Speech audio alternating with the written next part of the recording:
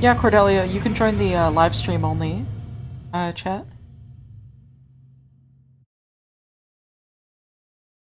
Should be underneath the waiting room.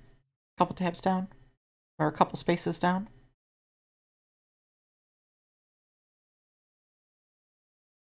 The Uh, music hello? fucks. Yeah, it's good. Hi, what's up?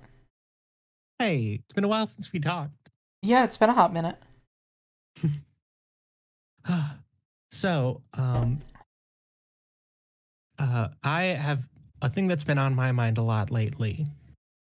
Uh, has been like on one end, a need to sort of see myself in a tradition of lots of people who did politics, like reading about I don't know uh, uh, Paul Mattick Uh huh. and it, and saying like, "Oh wow, I am in this tradition. I relate to this," versus a need to sort of say, "I don't follow any tradition. Actually, I am sort of divorcing myself from these old traditions and like breaking away to something new entirely." And sort of, I was curious uh, about how you see yourself in Mm. terms of like the history of leftism. Like, do you see yourself like uh, as part of a historical movement or as like an individual who just happens to be engaging with some of these things from time to time? I guess that's a good question, huh? Um, I try Yeah, not to flatter myself too much by associating myself with anything grander, you know?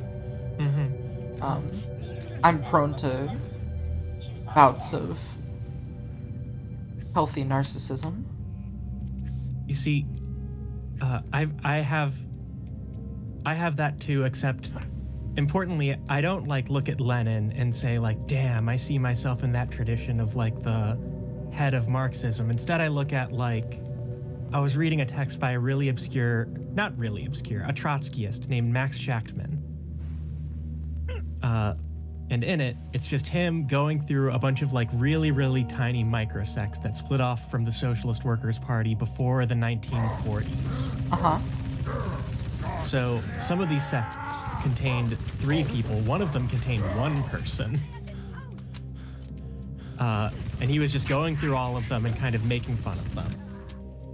And as I was reading it, he was saying like, "Oh yeah, the Bordigists split from us first. They, uh, you know, basically just have a reading group.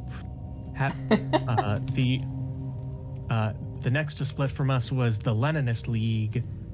uh, that changed its name to the Friends of the Revolution.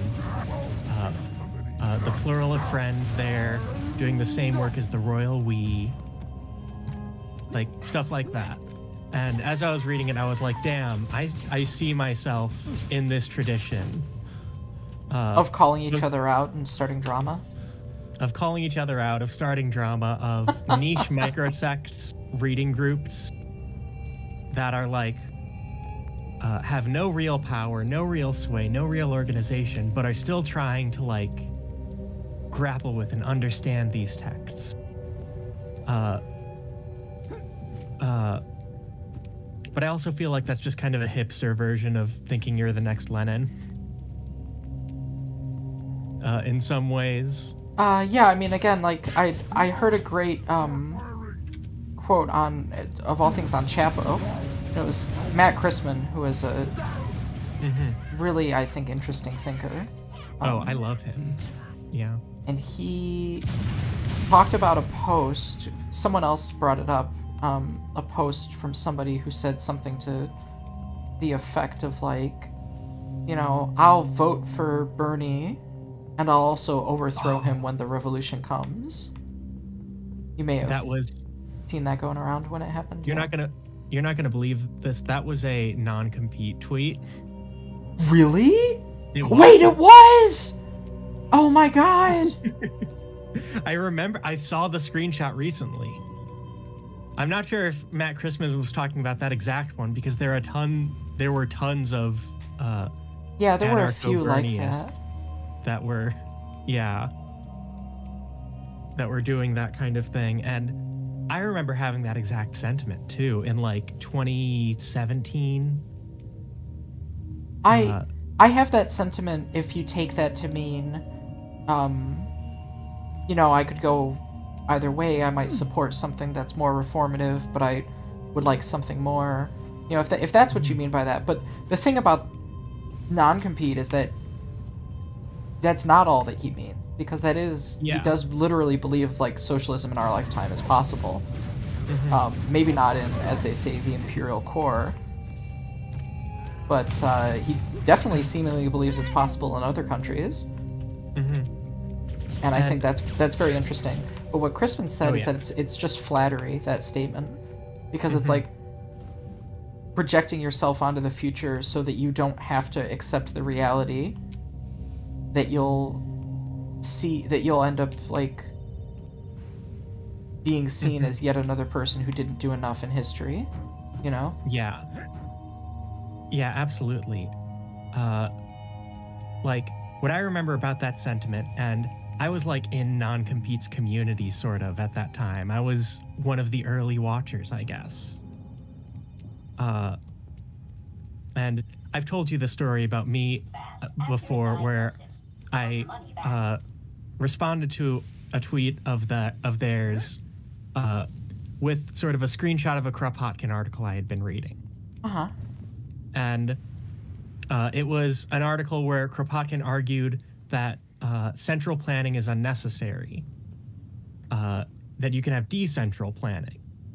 And the example Kropotkin uses is the railway system in Europe that is decentrally planned, uh, like between a bunch of different corporations. right And this is a bad example, but and it doesn't support Kropotkin's argument well, but like whatever.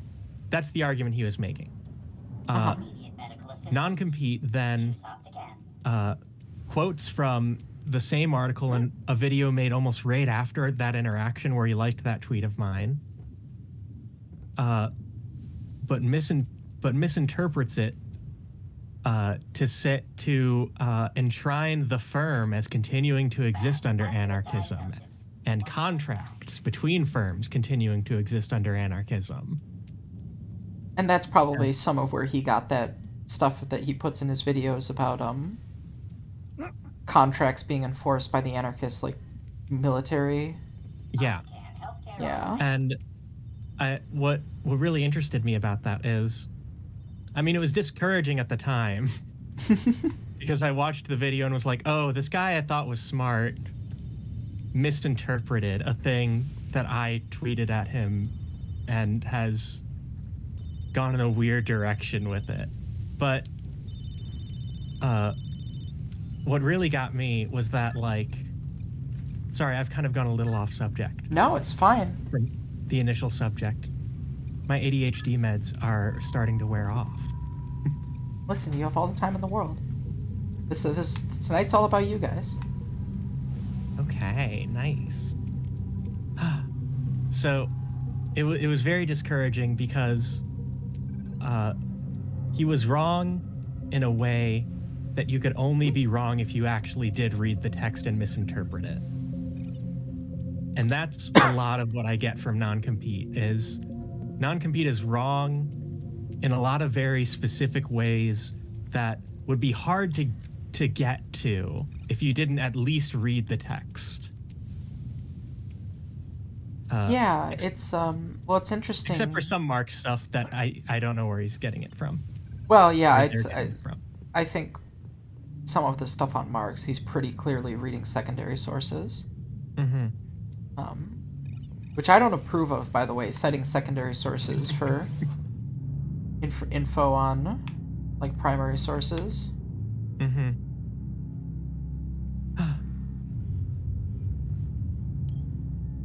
uh, yeah. Back to the initial question a little bit. mm-hmm. Um, uh, About being part yeah. of an intellectual tradition or some some other such. Yeah. Yeah, Matt I mean- is, is super right when he talks about that being flattery. Mhm. And I think we kind of internally should watch out a little bit uh, for like.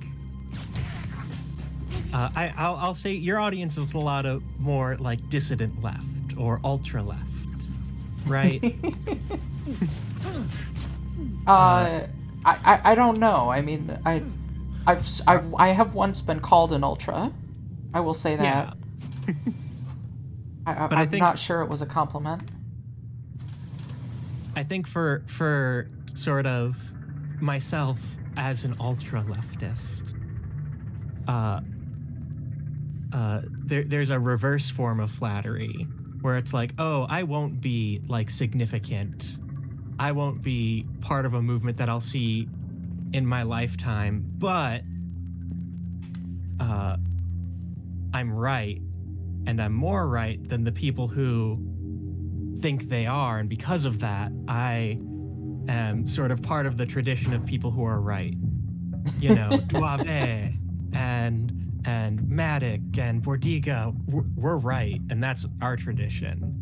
And I feel like uh, just a little self-critique, but also a critique I'm sort of in, inviting people in the audience who vibe with it to engage with too.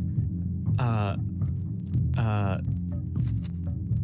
don't be so uh, concerned with being more right with uh, than other leftists, uh, even if you are. like, obviously, I think I'm right on things, but uh, I want to try and not like uh, uh, make myself feel any like superior to an ML who, uh, in reality, is in the exact same place as me. No political power, no uh, like broad movement where I am that I'm participating in, no chance at enacting any of my ideas or goals. You know, it's interesting. I don't believe in taking political action against MLs in any significant degree Mm-hmm. because I think that like actual like fascist fascists are just like infinitely more dangerous. Um, not that actually. not that you can't make some sort of argument about MLs, but you know what I mean when I say that. I know what you mean. Um, I'm actually writing an article on uh, uh, fascism that does have a little bit of a hot take on Marxist Leninists in it. well, Tell us her feel free to link it to me when you write it. Ms. Naval Intelligence. It's about three quarters of the way done. I did it. I'm doing it for there. There's like a Find your chairs. a guy on Twitter, Five Scythe, who calls himself like a Bolshevik Leninist. Hmm. He's trying to start a magazine, uh, and I am doing. I, am helping because I happen to have a little bit of experience. So well, that's good. uh, it's it's one of those things where it's like I don't know if anything will come of that, but it's fun. But the article I'm writing for it uh, uh, is uh, sort of trying to craft a theory of what fascism is within capitalism. How does it develop? Uh, and in doing that, uh, I kind of come to the conclusion that uh, fascism develops uh,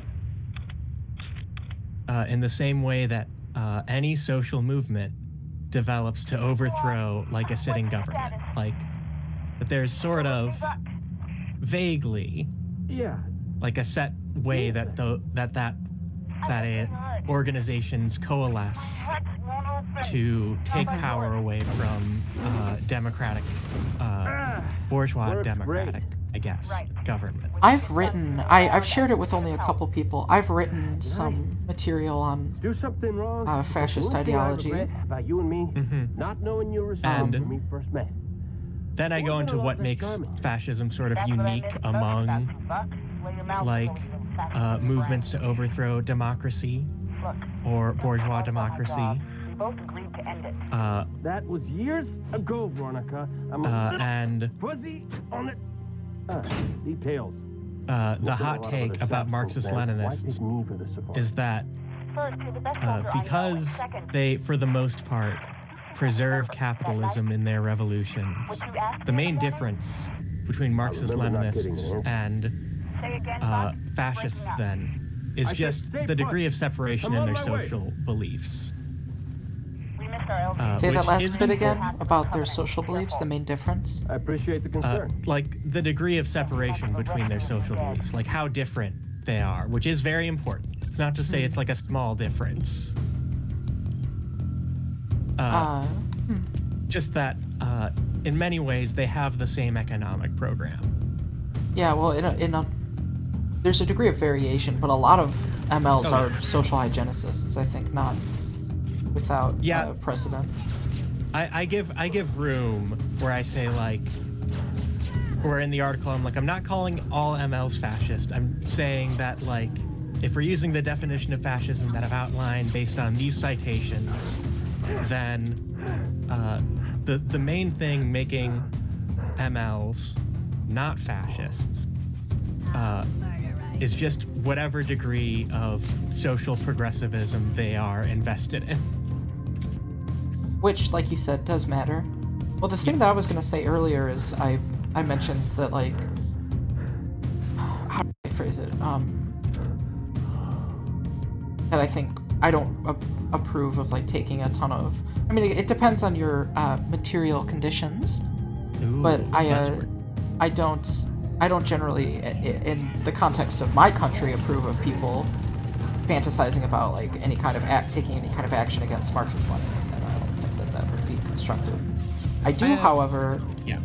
i say that because i'm leading into um, the fact that i i think i might hate mls more than fascists because based on the ones that i've talked to a lot of i mean you can get people from every ideology that are stupid Mhm. but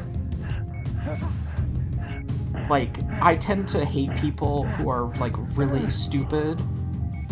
Yeah. You ever talk to somebody and it's just like you are unteachably stupid. You are Oh, I, I sure, feel bad even reproaching you for not understanding something. You are Mhm. impossible. That's how I feel talking to a lot of MLs. A lot Yeah, of fascists, I- you get them to a certain point in a conversation and they just kind of go, Yeah, I just don't like Jews. And it's like, okay, well, I mean, Mhm. that's evil, which is bad, and that's why I oppose it in particular. I've had very interesting interactions with both fascists and uh, MLs. One time I was smoking weed with some of my ML friends, and one of them started looking at a portrait of Stalin that was in the room because there was a portrait of Stalin in the room, started crying and said, I'm not a good enough revolutionary. Uh, and was like looking at the portrait like he wouldn't be proud of me. And I'm like, that's that's that is actually just Freudian, damn. That is, yeah. I can't believe I've disappointed father. Yeah. Which, uh, uh, honestly, especially the ones who are my friends, like I have a few ML friends, like three. Uh, mostly just makes me want to like try and talk them out of it very caringly. Yeah, I mean, I'll be friends with people of any ideology, but it's it's hard for me to be friends with a lot of conservatives, for example, Oh, for sure. because, and I'm not talking fascists, who Yeah. I, I think tend to be very malicious, but I'm talking like a lot of conservatives are deeply stupid people, like casual conservatives, conservatives who don't play on competitive servers, basically. Um, Oh, believe me, I have to. I still live with my parents, so.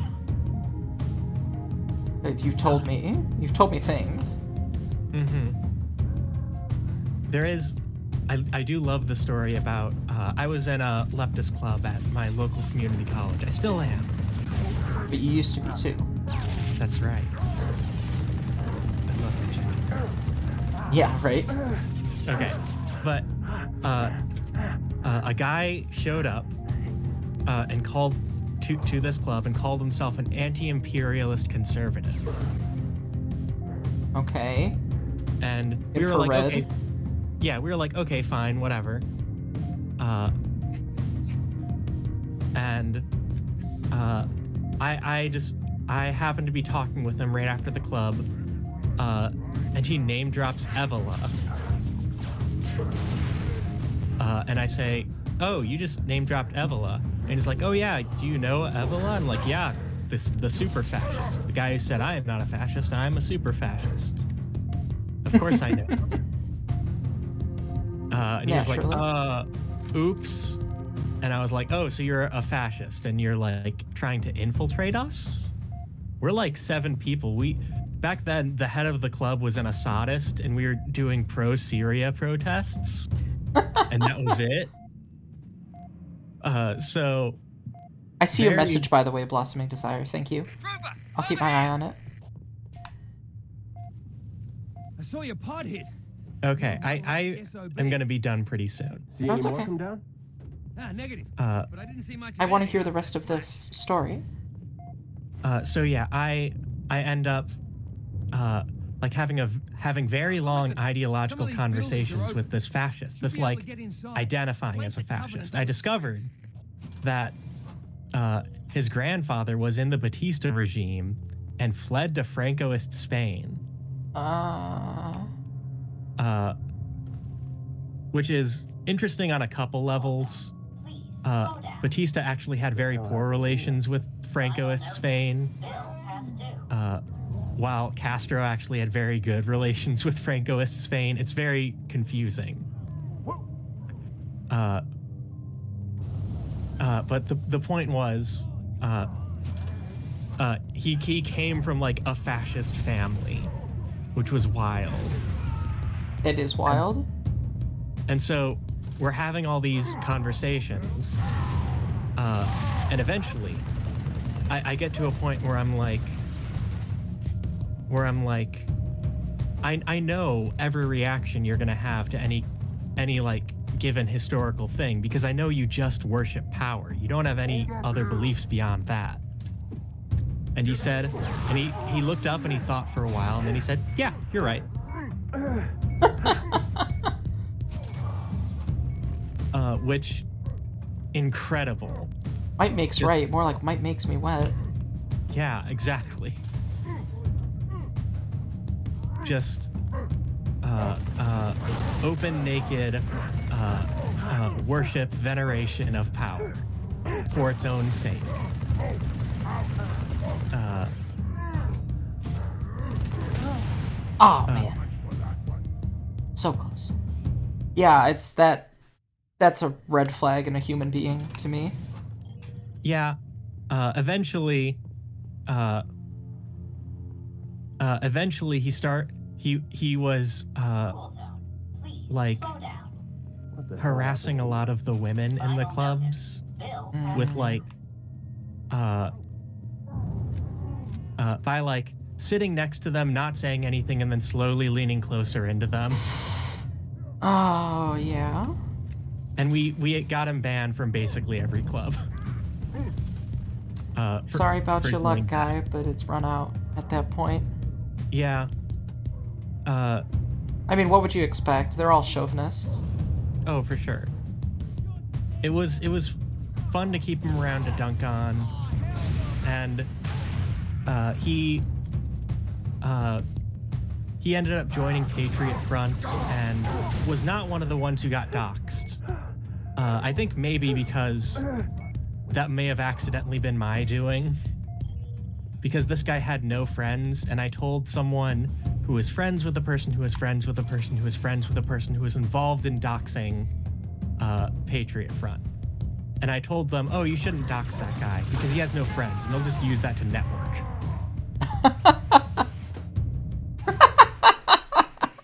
And- I mean, isn't that? I guess. What do they call that? Responsible platforming when a streamer does that? Like, don't Yeah. respond to this person; they'll just get big off of it. yeah, exactly. What That's the fair. happened here? Final notice. Well, I'm glad I could come on and share some stories and have some conversations.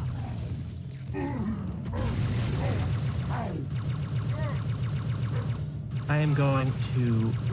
Uh, I am going to head off. I've got to uh, have a good night call with my partner. Of course. Yeah, it was really great talking. Yeah, it was great Oh. talking to you too, B. Thank you.